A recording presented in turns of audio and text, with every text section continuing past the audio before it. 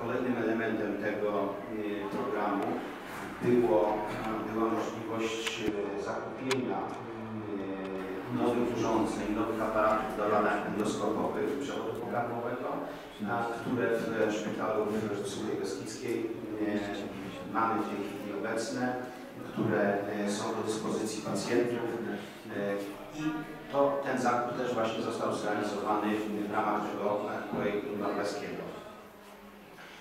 Ja mm, dziękuję Państwu jeszcze raz e, za e, udział w tej białej sobocie.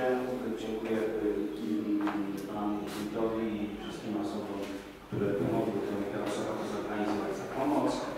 No i, i po prostu życzę, aby dzięki tej białej sobocie dużo dobrego na temat zdrowego stylu życia Państwo się dowiedzieli, żeby wszelkie wątpliwości zdrowotne zostały rozwiane, a jeżeli będzie potrzeba badań diagnostycznych, to zapraszamy do szpitala w Słupie.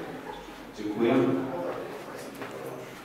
Szanowni Państwo, Panie Dyrektorze, ja szczególnie chciałem podziękować za to, że gmina Muchacz została zauważona w tym programie, że właśnie do nas Państwo zawitali.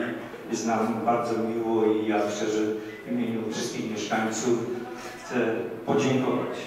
Podziękować za to, że przyjechaliście Państwo, że chcecie udzielić nam wielu porad, że są to fachowcy, którzy przekonają naszych nawet mieszkańców, że należy korzystać z tych programów, które są przez Państwa realizowane.